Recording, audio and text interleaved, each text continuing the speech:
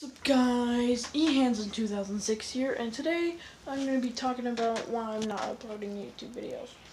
So, you see, there's this problem I've been having with all my YouTube videos lately, like the Geometry Dash one.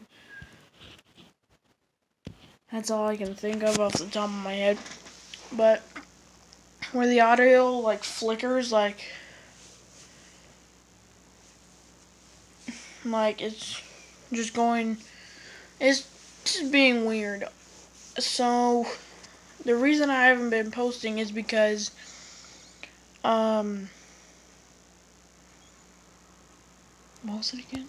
Oh yeah, okay. Is because I am not,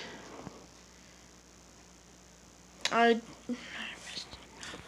I do not have have enough money to buy an actual editing software, so I just have a free one, and I think it's just glitching out or something. But until I have enough money to get um, Adobe Premiere Pro, or wait, what was it? I think it's Adobe Premiere Pro, I don't know. But until I have enough money to get that, probably won't be posting a bunch. So, yeah, that's why I'm not posting.